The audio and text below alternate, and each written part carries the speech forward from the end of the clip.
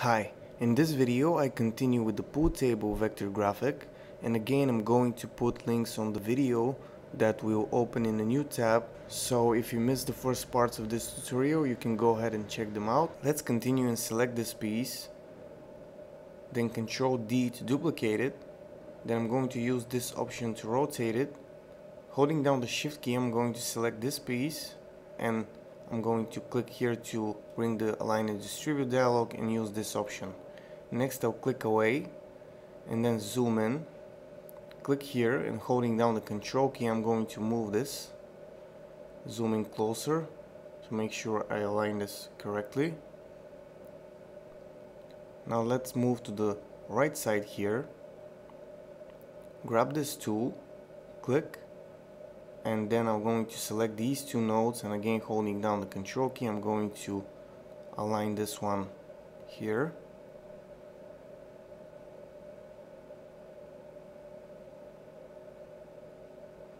Next I'm going to drag a guide double click on the guide and type in minus 67 degrees click enter and then click OK.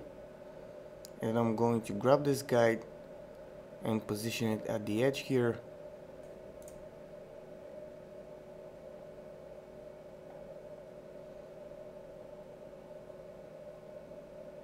Next, I'll click on this node holding down the control key. I'm going to snap it to this guide and then mouse over the guide and the delete key. Let's undo this.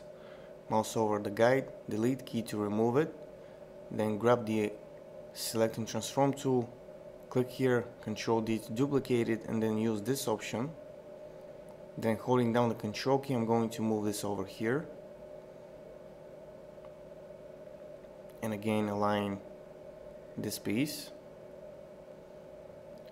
Now next I'm going to select this one.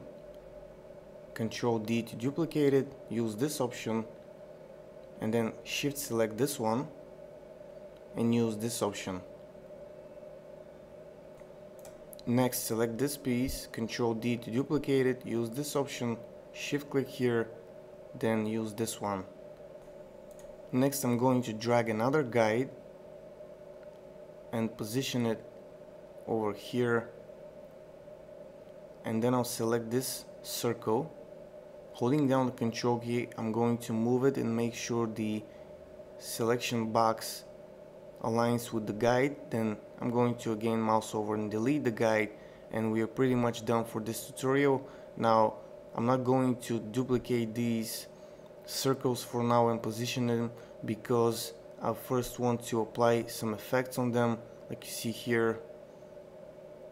So I'm first going to do the effects on these pockets and then I'm going to duplicate them and distribute them around the table. So that's it for this tutorial and I'm going to continue in the next part. Meanwhile you can visit my GIMP tutorials channel. I'll put link on the video. So that's it for now. Bye